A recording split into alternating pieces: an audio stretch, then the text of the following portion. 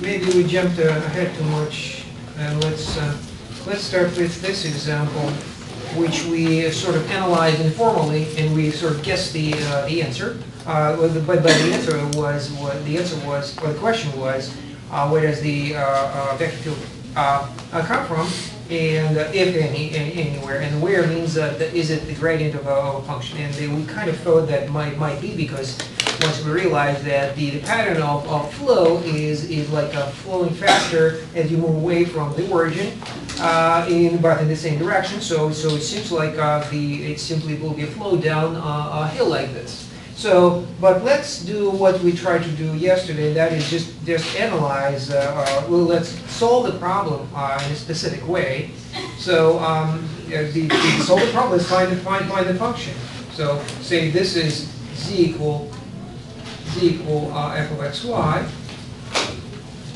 If, if any, so the, the graph of a function of two variables at the surface, and we are where to find it. So find uh, z equal f of x, y, such that, and here I want to use uh, uh, the, the the notation that we have used, in, I'm sorry, it's not going to be f, uh, let's call it h, and in order to avoid uh, reusing letters. Okay, so uh, such that uh, notation I'm going to be using is this, uh, h prime is equal to x1. How about that? So we are talking about the derivative. Okay, so uh, the derivative of the function is, uh, our function of two variables is the, its gradient, so that's, this is just another notation. Okay, so we are looking for this function h that satisfies this property, and then at that point, we, we sort of unwrapping things and putting them in a, from a more compact way to a more expanded way in the way that we can, can actually solve. And so, and the answer is, uh, uh, and then we replace the gradient with what it is, it's two, two partial derivatives. So dh dx, dh dy, it's the same equation, is equal to xy. So, uh, in other words, what we're looking at right now is, uh, um, before we solve the problem, we, we realize that we're looking at uh, two vectors equal to each other. Okay, so it is, it is literally an equation, except, except uh, both of these are vector fields, so, so they are x, y dependent. I, I omitted uh, variables here, but, but certainly h is dependent on x and y, therefore their partial derivatives are also functions of h, uh, of x and y. So, um, but the point being uh, here is that uh, the two vectors are equal to each other when, so equal to each other, when, when what? when their components are equal. Their components uh, are equal.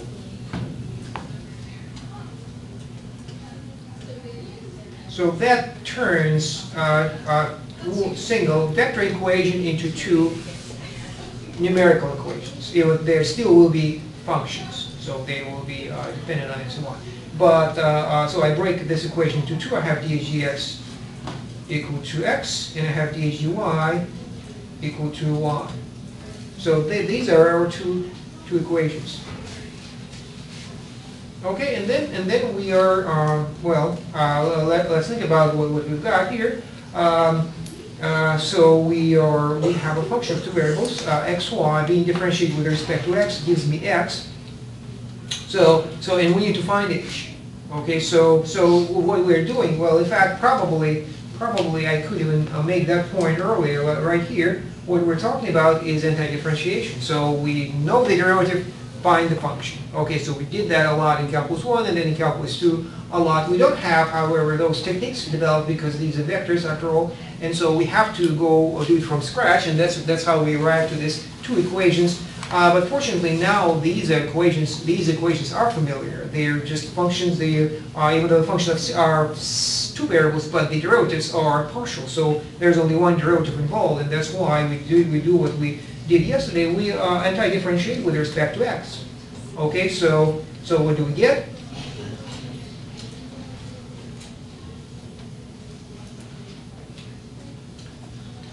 Uh, We take- What? One half x squared plus cy.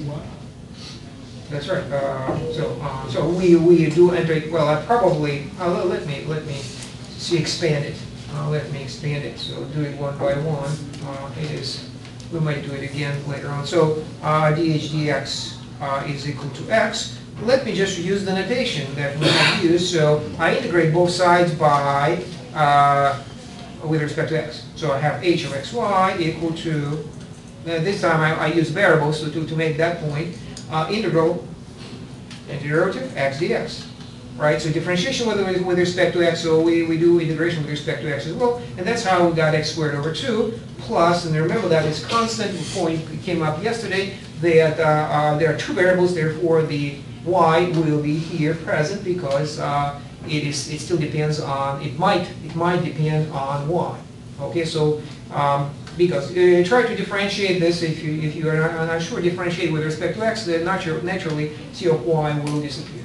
Okay, so so that is the, the as far as we can go when we have there are two. Uh, there's only one derivative. When there is one derivative, uh, uh, avail out of two available, then the, the how far we, we get is it, it is it is not not far. We, there is there's there's way more ambiguity than when we have a, a function of one variable. So well, fortunately, we have the other derivative too.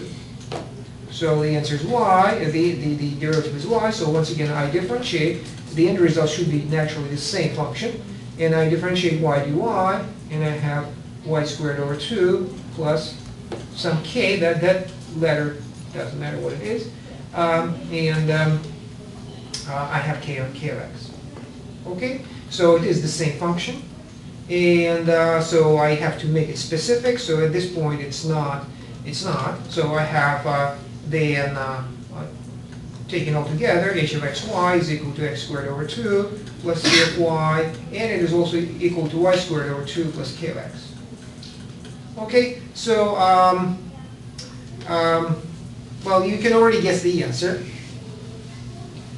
Can you guess the answer? It's uh, one one half um, x x squared plus y squared. The, the, uh, um, that's right. Yeah. Uh, so uh, the uh, so that that is the answer plus plus c. Uh, but uh, uh, it would really it would be prudent to to make sure that we didn't miss anything. Just oh, with net differentiation, but how do we know that there is none? We really didn't. I don't, I don't think it ever came up hmm, that there is there is a property of of antiderivatives which is identical to the property of uh, antiderivatives in uh, in calculus one numerical functions. Uh, to what's the difference between two antiderivatives?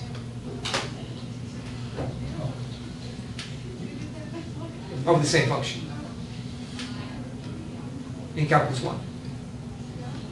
The difference between two antiderivatives. They can only differ by a constant. Uh, The difference is a constant, right, so it actually applies equally, equally well here. Okay, so in, in spite of the ambiguity, once we put together, uh, it, it is still the same, right? So it is almost identical. The, uh, in calculus one, the difference between two uh, antiderivatives was they were curves and they were shifted vertically, and now we have surfaces. There is really no big difference, and so we are moving uh, along, up and down along the z-axis, producing more and more antiderivatives. Okay, so, uh, but, but if you want to be careful, uh, and, and what is the, what is the algebra that gets us to the correct answer? In the, uh, there is nothing uh, uh, here uh, that, that suggests, I mean, it is very suggestive of what it is, by, you just combine the terms that depend on x, and, and then combine terms depend- that depend on y, okay? And then kind of intuitively clear that one should not be mixed with the other, other than a constant. Okay, so and that, that, that way you can conclude that uh, k of x is x squared over 2 and c of y is y squared over 2. Is there a more specific way, uh, more, more rigorous way uh, than just th- th- such and such a guess uh, or grouping things? Um, well, by the way, there is nothing wrong with grouping uh, like, like the way I did. Um, and, and then concluding that uh, h is equal to x squared over 2 plus c squared, y squared over 2 plus c uh, constant, it is okay, but then, then how do you know that you found all? Then you have to quote all here because, uh, because uh, of that theory. That they all differ by constant. So if you found one, you found all. Just like in calculus one. Okay, so, uh, but, but still, uh, that is if you can guess, then, then you're fine. Uh, But, uh, um, but how to find it is a more complex situation? And the answer is, uh, there is really no easy way, uh, but usually we, we, uh, uh, we plug in, um, you can try simply to plug in different values. So for example, if I plug in x equals zero, you know, these two equations, these equations, these two things are equal to each other um, for every single value of x and every single value of y, and all combinations of x and y. So for example, I could plug in x equals zero, and then I discover that c of y is equal to y squared over two plus k of zero. Okay, so that, that, what does it tell me? Uh, that, uh, what does it tell me? Well, the k of zero is a constant, right, so that, that pretty much does it. I plug in y equals zero just for completeness sake, and I have uh, k of x is equal to uh, x squared over two plus c of, of zero. And so we indeed see that both c and k, these two functions of x and y respectively, are, y and x respectively, uh, are nothing but uh, uh, this. So it's uh, y squared over two plus constant. And the other one is x squared over 2 plus constant. So, so then, uh, then what is my function h if not the sum of those plus constant? So h of xy then is equal to x squared over 2 plus y squared over 2 plus constant.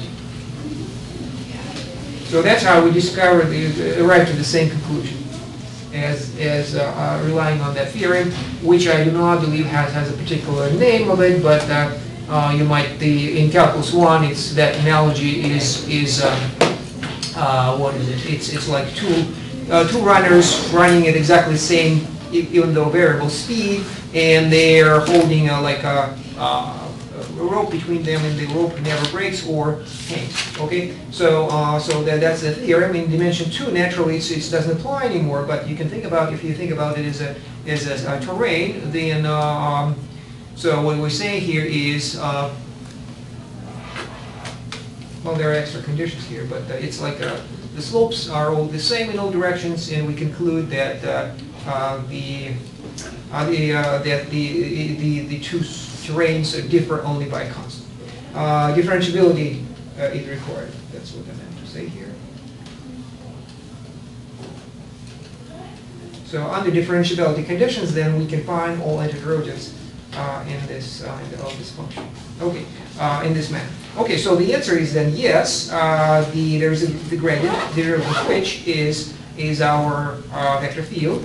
Uh, It is, uh, uh, uh, the graph of this is the uh, a paraboloid of revolution.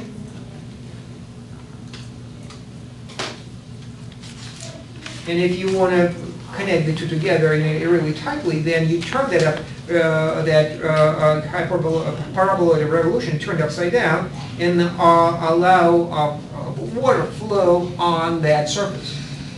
Okay?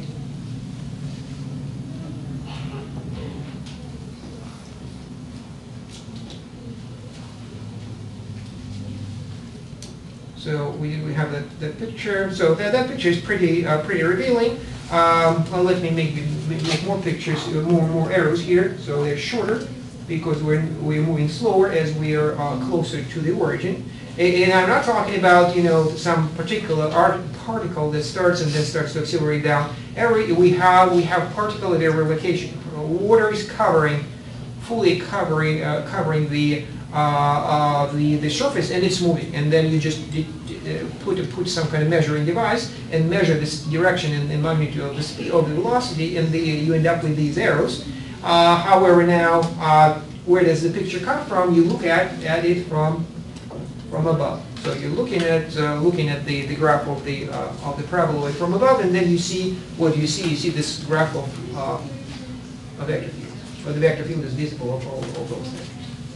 Okay, so, uh, so that works out fine. The, um, uh, the, when the, uh, so there's actually gradient, the, there's a word for it, it is called the, the potential. So H is the potential or potential function of, of the vector field.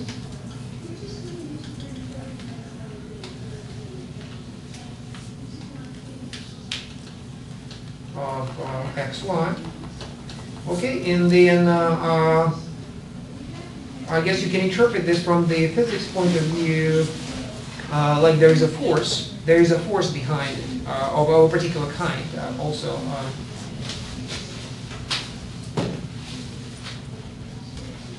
It has something to do with the,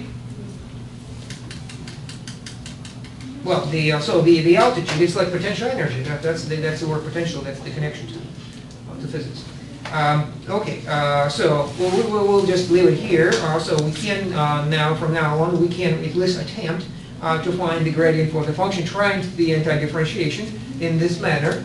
Okay, then if we find, them, they're good, and then sometimes this is, uh, we, we, or maybe not, and that's what, uh, where we are, with the other example, where the, there's a rotational, very different pattern of, of behavior.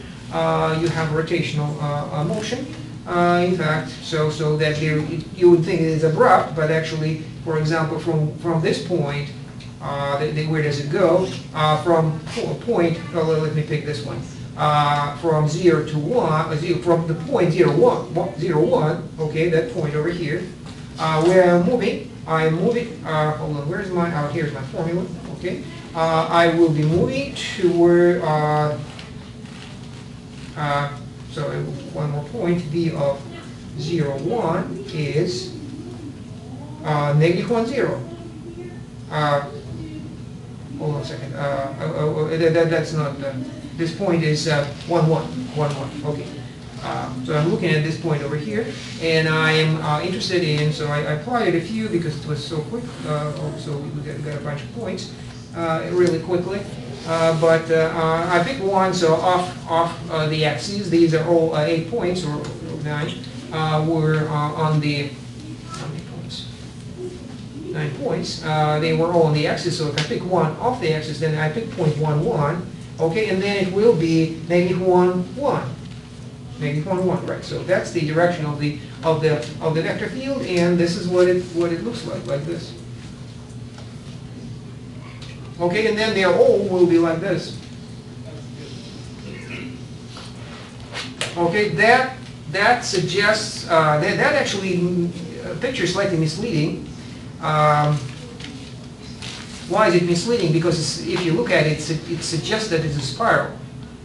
If you try to follow these arrows, you will be spiraling out away from the origin, right? You, you can see, uh, the- the- that, that, it is a, an almost an accident, uh, by accident, but the, uh, those two consecutive, uh, or three consecutive arrows are taking you away from the origin. So if you approximate in the manner that we did uh, uh, yesterday with the, with the, with Excel, the, you will end up with a spiral, spiral that moves away from the origin. Even though the answer is we, not the answer, but rather uh, if you go to, we- which we're not gonna, uh, differential equation, you solve it, it will give you circles. And then you can guess why, and not- not why, but rather, uh, it is, it is circular, we can, we can certainly analyze that and, and discover that all the tangents, all the tangents, that, that's certainly worthwhile uh, looking at, we will do it next. Uh, All the tangents are in fact perpendicular to the radial, to, to the, uh, to the uh, radius, uh, or, or the edge that connects the point to, to the origin, like this. So if this is the origin, and this is my point, which way does the, uh, uh, the uh, vector field point? Perpendicular. So if, the, if the direction is always perpendicular to, uh, to the, to the direction towards the origin, it is, it is rotation. It is rotation. We, we had already a little bit of that when we talked about parametric curves. So if you want to move along with a parametric curve along those uh, uh, uh, uh, those arrows, you will be rotating, okay? Uh, uh, So, so sorry about that, then the, the point being that the, the pictures might be misleading. This definitely misleading picture. Um, So we, we have to resolve that, and so we will. But let's, let's solve the problem first, and the problem is, is this, the gradient. We, in fact, the, the name of it is, I I should me- maybe combine these two. Uh, So H is a potential, and, and in, in the meantime, uh, uh, and also say xy is a gradient vector field. Okay, so the two little definitions, uh, so the function, uh, uh, we know what the gradient is, and so vector field is the gra, is a a gradient vector field if it is the gradient of some function variable. If it is, then that function is called its potential. Okay, so, and then we started doing what we just did, uh, but now with a different function. So, uh, so my function is, uh, uh, my, my, my vector field is negative yx, okay, over there. Uh, so I, once again, I break that equation over here, uh, into, into two. I'm, I'm looking at one coordinate at a time, x's, um, uh, uh, separate from y's. And then the, uh, now this time, unlike the last example, the, the x's and y are intermixed. And when I integrate uh, with respect to x, I'm integrating negative 1, right over there. And so I end up with negative x1, While uh, with this, the other one, I integrate uh, x with respect to y and end up with xy. And the difference of signs, you can guess, is probably important. Okay, and then, and then we proceed in the same fashion. So we don't know the answer. We don't know the answer, even we, we, we guessed it uh, yesterday, uh, what the answer is. Uh, but uh, uh, we, we, we proceed as if uh, nothing is, is we, we do not anticipate any, any problem. And so what do we do? We try to find at this stage. So at this stage is, first of all, was, so find, find f. So I'm using f here. Oh. So find f with its two, um, no, just, just a function of two variables. Okay, then uh, over here, once we reach this point over here, I say find c and k, those two functions of x and y. So I, I, I what do I do? I set them equal to each other. Um, um, the, it's the same function f, so f of xy is equal to negative xy plus c of y, and equal to xy k of x. Okay, and then once again, we could try to do what I just did last time, and that was uh, uh, try to uh, um, group them.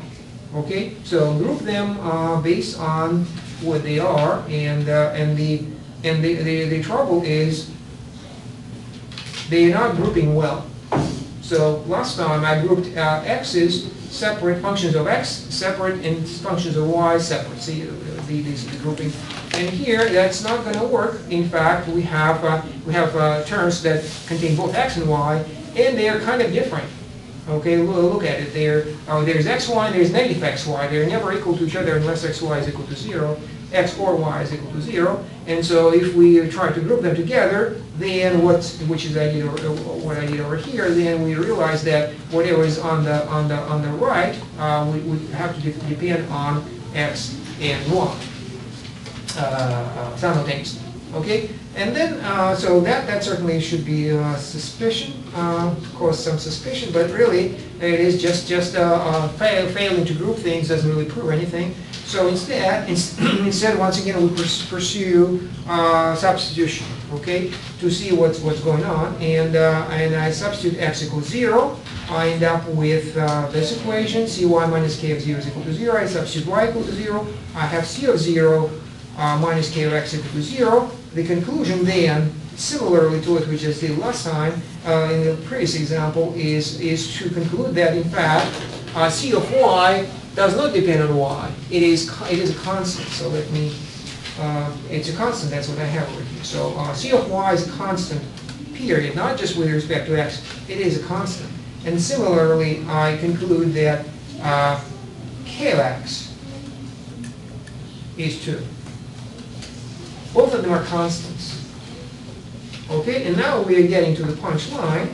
We have two constants, so then what we have here is negative xy plus c. It does not depend on y anymore. It's equal to xy plus k. Okay, you see, you see the problem now? Negative 2xy is equal to k minus c, and um, so what do I say here? Observing this, I mean, x and y are constant. They're they're right, we- except they're not, right, so it is, the x and y are independent variables, so, so this is impossible. Uh, because x and y are are variables, independent variables, and so I should be, I, I'm able to vary the left-hand side and I cannot vary the right-hand side. So that is a- a- appropriately named, it's called a a contradiction. Whenever you arrive to a contradiction, you go back and look at what is the assumption that you made that probably uh, caused, uh, what was the starting point? And the starting point is right here.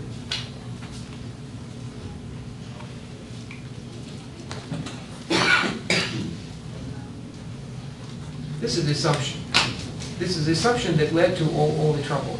We assume that E is a gradient vector field, so it's the gradient of some function, and then we realize that, well, and then we arrive to a contradiction. Logical contradiction, which makes our, which proves what? So made assumption, arrived to a contradiction, which proves what? The assumption wrong. Therefore, the assumption was wrong.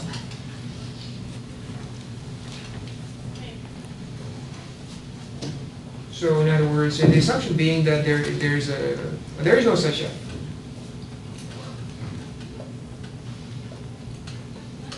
Well, so, so then, uh, what is negative y x is not a gradient vector field.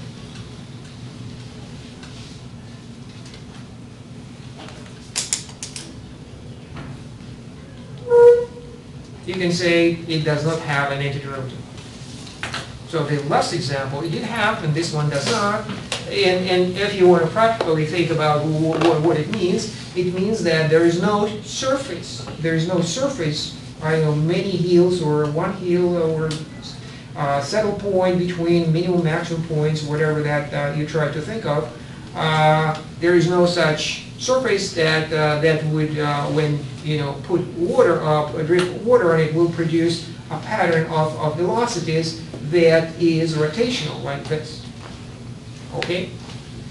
Uh, so that's, uh, uh, that, that's, uh, that's a conclusion that is uh, uh, uh, not, not entirely obvious, even though we talked about that well, well, yesterday. If, if we can demonstrate that we do have, we talked about rotations, then we, you know, it, it means that you would, you would come back, you were supposed to climb the, the mountain. You're supposed to climb the mountain along these, these uh, uh, arrows, and if you come back, then it's impossible for you to, uh, to climb. You're, you haven't been climbing. So you, you make a full circle. It's like a, like a, you were, you were, it's like a spiral, which, which actually proves only one thing, that your function f is not continuous, right? So you make a full circle, you arrive to the same location, but at a different altitude. It's just a spiral, but for, as far as function f is concerned, it is not continuous anymore because there, that, that's a gap right there.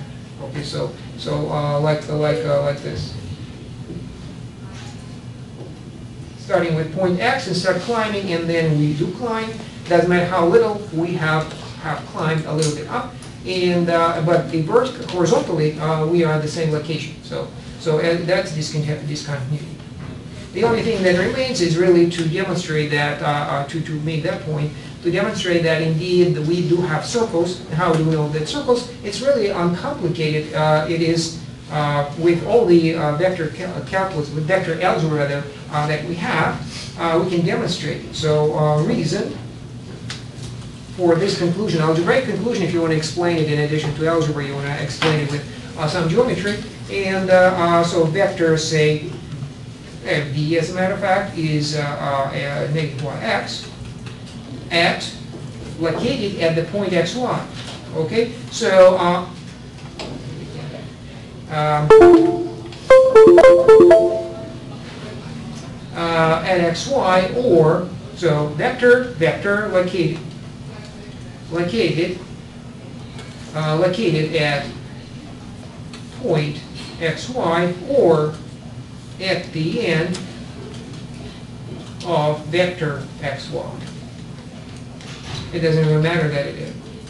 But the point, we are comparing these two. So this is the origin, this is my vector xy, xy, and then it is compared to vector, uh, this one, v, which is negative yx.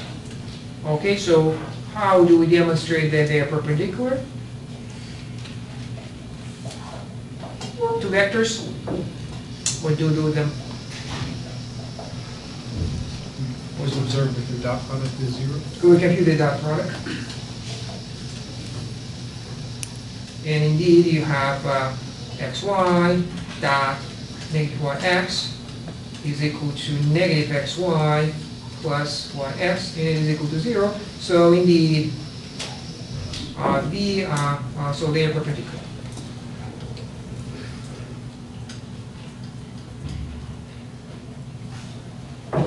Okay, uh, it is still not entirely uh, uh, justified yet.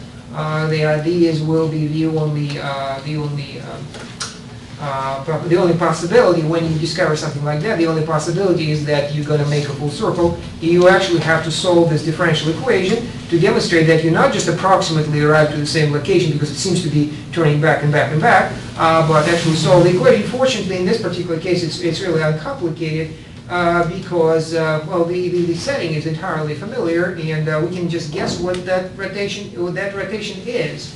So uh, the curve that follows the arrows, so we have a bunch of arrows, spread it out, and then we we can just point them out. Uh, Say P of T is, going back to like October, and what is the uh, parametric curve of of circular motion? Cosine T sine T. cosine t sine t, and, uh, uh, and then uh, a p prime of t is equal to uh, negative sine t cosine t. And then you can, you can just verify that indeed the, uh, uh, you, these are, so well, let's put it this way, when we are at this location, the direction is, is that. Okay, so that would be, if you were to put it in one single sentence, that's how I would put it. So the parameter curve is moving, cosine sine t, so where we're at this location, which is a point on the plane, uh, and then we, we match it with the, uh, with the, uh, uh, with the, uh, we match its, its velocity at that particular time, match with the vector at that particular location. Okay, so vector field gives us velocity as locations, while the parametric curves, naturally, they only give us uh, the velocity at particular time. So as you can see, it depends on t. Up until this point, there was no t. Why? Because we're not talking about parametric curves. They are only um, no more than, than, uh, than tools, and they become really prominent only in a, in a differential equation uh, environment. So we, we're just looking at, at, at, at vector fields. Um, So, so that's why if you can explain it, uh, but fully, you, you, you probably have to look at the vector field as a differential equation. Uh, uh, For our, for the time being, this, this is a a perfectly all right way to, to demonstrate that this is not um, a gradient vector field.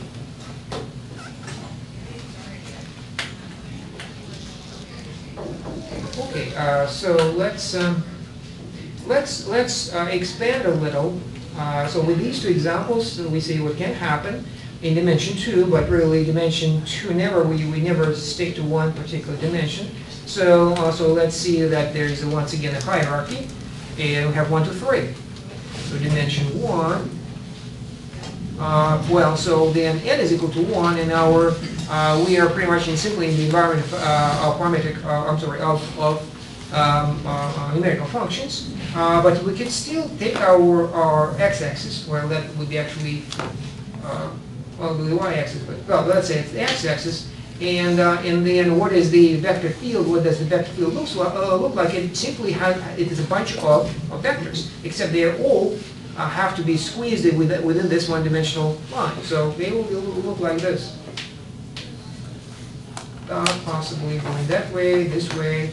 Uh, If you want continuity, they usually do not turn around instantly. Uh, So it is a vector field, it's still a function, so for each location, there is, there is a, there is a vector which is in one-dimensional situation. These are, uh, these are just numbers. So, uh, so in other words, d of x, a number, but also a vector, is attached to x. So we never visualize functions this way. Okay, so there in calculus one, there was only one way to visualize a function of one variable, and that is the graph. So you have uh, like this. Okay, this is x and this is y. And then well, well, uh, alternative, uh, the advantage is, uh, well, certainly want to have a hierarchy. I'd also think about that this is, could be, you could think of it as, as like a pipe. A pipe and an arrow once again indicate the direction of, of, of liquid flowing. In, which direction, how fast. Okay, so, so that's just a different way to visualize, and it's, it's, it's one-dimensional visualization of, uh, of something that we usually visualize with, with a graph of- in, in, on the, plane. Okay, so, so once again, what, what I'm talking about here is x over here, and then if I find y, y, like this, then this is my y, this is my y, and I just call it a vector, and then I take that vector and, it, and attach it over here. So this is my x, and this is, and this is f of x. Okay, so this is f of x, right? So graph of a function for each value of x, I compute f of x, which gives me a number, but then I treat it not as a, as a number, but treat it as a vector, and I, I it- which simply means that I make it in, in an arrow rather than uh, uh, just a, an interval, I make it an arrow, and I take that arrow and attach it over there to x. See over there, x, f of x attached to it. Well, that, that's all there is. Just a different way to visualize uh, functions of one variable, as well as a different way to, uh, to interpret them. So like I said, a flow through a pipe. Okay? In the meantime, we are more, uh, in dimension two, we are more comfortable with, um, uh, which we are more comfortable with, and that is, we're talking about, on the plane, we have those arrows. Um, and uh, uh, so it's v of xy is equal to uh, some two functions, say f of xy, g of xy. Remember that that's the how uh, two-dimensional vector fields are, are created. Two input variables, two output variables uh, as numbers, but uh, really you can uh, certainly do more than that. And this is either a flow on the uh, horizontal plane wi- with, for some reason, uh, uh, uh, particles move faster at some, some location than not. Or, and that probably is the best way to explain it because, because that example that we had when the flow is, is down the uh, a surface is an exception, well, not an exception, but it is not to happen every time. So, so when uh, it is, it is, might happen, but it doesn't have to happen. So not every vector field is a gradient vector field, so we have to limit ourselves to uh, this interpretation. So it's a flat one, flat surface, water is moving everywhere in these direction in, with this magnitude, and uh, uh, and why we don't know. So so there is why there why is not an issue here because we we uh, this is just the velocities. We're observing what's happening, and then if there is some kind of physics behind it, some kind of physics, uh, then uh, that that is not our concern right now. And then and then the exact same thing happens with uh, dimension three, except now well if you can imagine it's it's getting harder and harder to, to visualize. So our vectors will be hanging in the, in the, so the whole space is uh, filled with, with vectors, like this. Uh, so if this might be better to think of as water, uh, this is better to think of as air. Okay, so once again, there's a wind and there's a motion of, of, of, of the wind through the air, and if you, there's a way to uh, to detect uh, uh, velocity of a particle at a particular location. So there is no time dependence. Remember that. Uh, it is we it is the velocities depend on the location. Different location, different different velocity, but there is no progress uh, in time. Uh, when the time comes in, when we try to find one particular particle and find out how it moves through this. Uh, there is for 3Ds, is I, cannot use Excel to visualize it, but there is a uh, so Mathematica does it easily. Uh, so let me just uh, quickly show you a little picture. Wait, where are we? Uh, okay, here it is. Uh, so that's what Mathematica produces. Uh, you, if you can read what's at the top, uh, it is the, uh, the command which says vector plot 3D xyz. What's xyz? It is simply the uh, three-dimensional vector field with components x, y, and z. So, so two-dimensional vector field is made of, of two functions. Three-dimensional is made of uh, three functions. And for this particular case, I chose x, y, and z. And then the rest of it, this, uh, copy.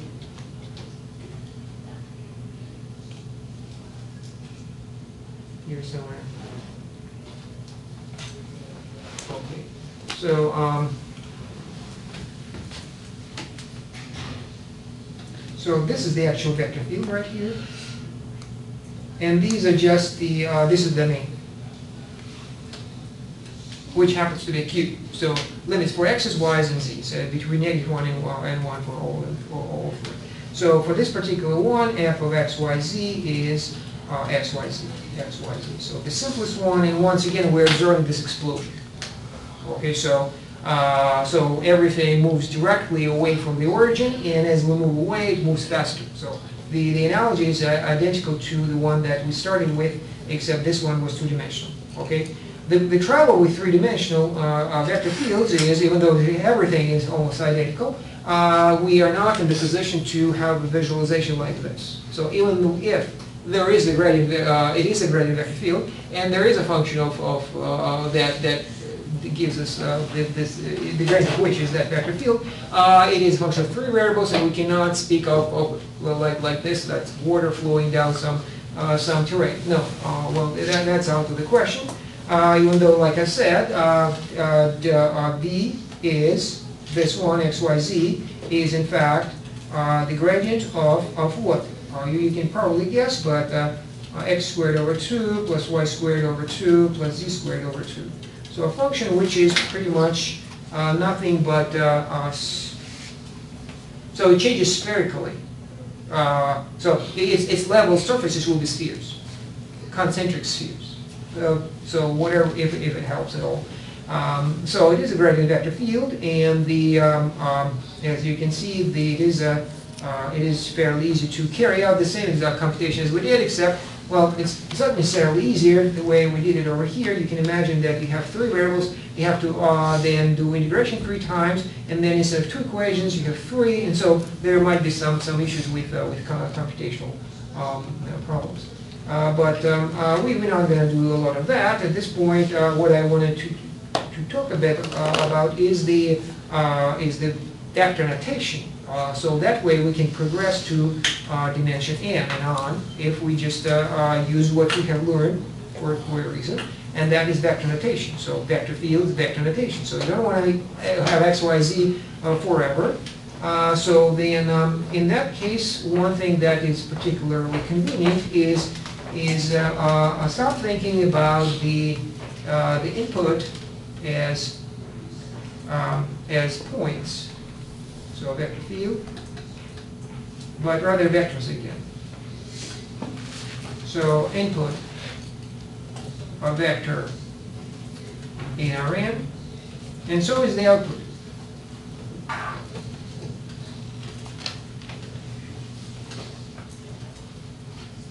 Okay, so then, I mean, it's a zero, that is uh, my vector xyz, xyz being the, that's, that's the input. And then what I do is I attach a vector, whatever that is, maybe in this particular case, x minus y, z plus 1, whatever. Uh, uh, That is my vector field, which is attached to, to to x, y, z. Okay, so uh, dimension doesn't matter, the, the idea works out, it works out in any dimension. Uh, The, but the, you realize, once you, once you start using vector notation, you realize that you can do uh, all kinds of algebra. So there's the algebra of vector fields. So, uh, say, v plus w. One vector field plus the other, or another vector field, uh, produce a new vector field. So, so for example, we have, we have velocities. Uh, Somebody do- doing that project, uh, when, when the cannon shooting and there is a wind, right? Uh, So that, that was your idea, uh, to, to add the wind into, into consideration, which makes things complicated. But the reality is this, uh, so, um, so, um, well, it's not exactly, uh, exactly that, but imagine that you are, you are, uh, how, what, what would be an analogy of that? Uh, Suppose you have a flow, you have a flow, maybe easier, maybe complicated over a river, okay? And so it's a vector field V, and then there is also wind.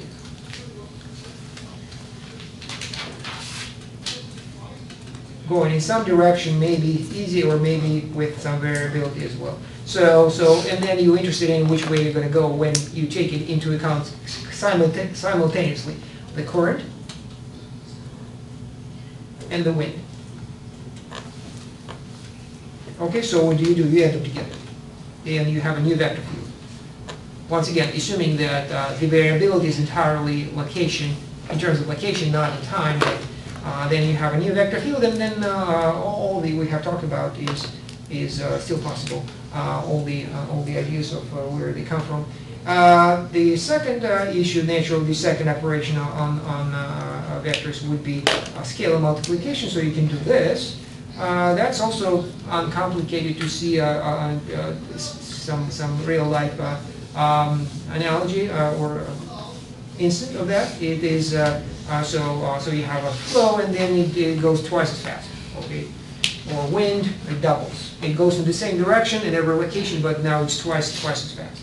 Uh, uh, let's, let's take our, uh, let's take our s- specific examples from, from today and yesterday and just have, uh, have expressed them as, as vectors. So for example, if we had x, y in uh, yesterday, so one vector is v of, v of u is equal to u. That would be, okay, that would be number one example. So the input is the same as the output, and uh, so what is, what kind of vector field is this?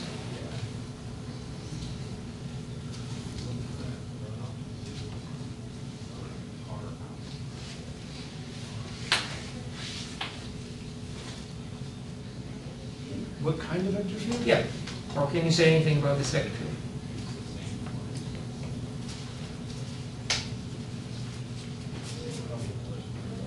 The output is the same as the input, but remember, look at that picture over there on the right.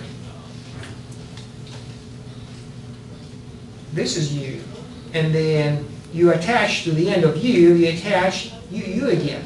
So this is the input. This is the output. Okay? So you find the location, but this time in the form of a vector, and then copy that vector and attach it to the end. Okay? So what's the, what does the uh, vector field look like? It's like an explosion of the origin. It's, it's once again, that explosion, we saw two of them, uh, including this one. That's, uh, that's an explosion, that's exactly it. I'm just, I'm taking the same exact thing, but using, uh, using the uh, vector notation, so, so that will work in dimension one, two, or three, or any dimension. Uh, The other one is even simpler, it is v of u is equal to u naught, constant. What does, does that mean? So there is no variability on location. What does the vector field look like?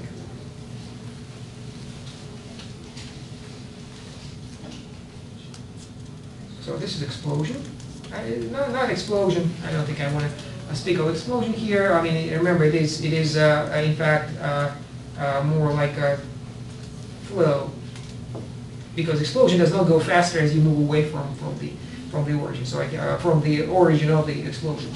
So, so it is not really an explosion, but I can, just can't think of a better way to describe it. So this is what we're talking about. And now, uh, when the graph is, uh, when the vector field is constant, what does the, what does it look like?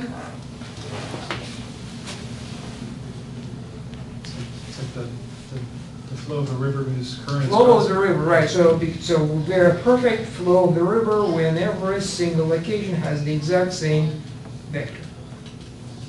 Uh, in fact, uh, let, let's take the first example and modify it slightly. What is this? So take the first example and then divide it by the magnitude of the, that vector. See the difference? With that kind of explosion-like behavior?